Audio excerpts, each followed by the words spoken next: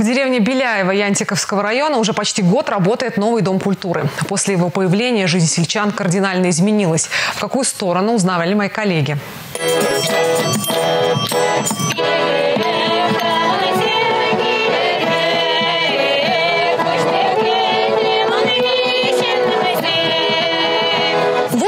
Песнями и танцами теперь встречают гостей в Доме культуры Беляева. Новый клуб возводили с нуля.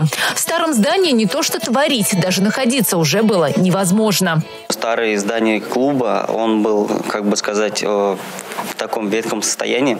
А, крыша протекала, там холодной, горячей воды не было. Это как в старых э, зданиях вода стояла бач, бачком, там кружка, все такое было.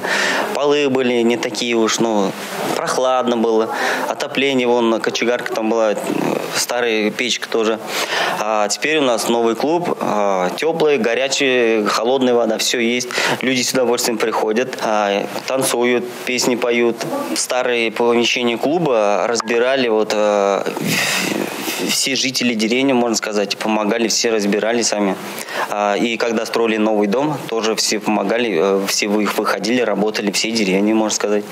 Местные жители помогали не только руками, но и рублем. Новый клуб удалось построить в короткие сроки за счет программы инициативного бюджетирования. Люди общими усилиями собрали 250 тысяч рублей. 4 миллиона выделило правительство республики, более 2 миллионов – Алдиаровское сельское поселение. И спонсоры тоже помогали. Цены нет такому дому культуры, который теперь собирает всех в округе в своем просторном, уютном зале, говорят местные жители. И концертные программы творческих коллективов стали масштабнее и интереснее интереснее.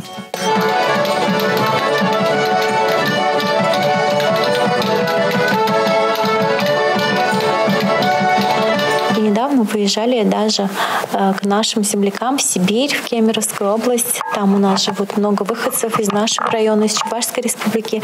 И они также очень радовались э, чувашским песням и танцам. Татьяна Трофимова, Татьяна Раевская, Андрей Шоклев, Республика.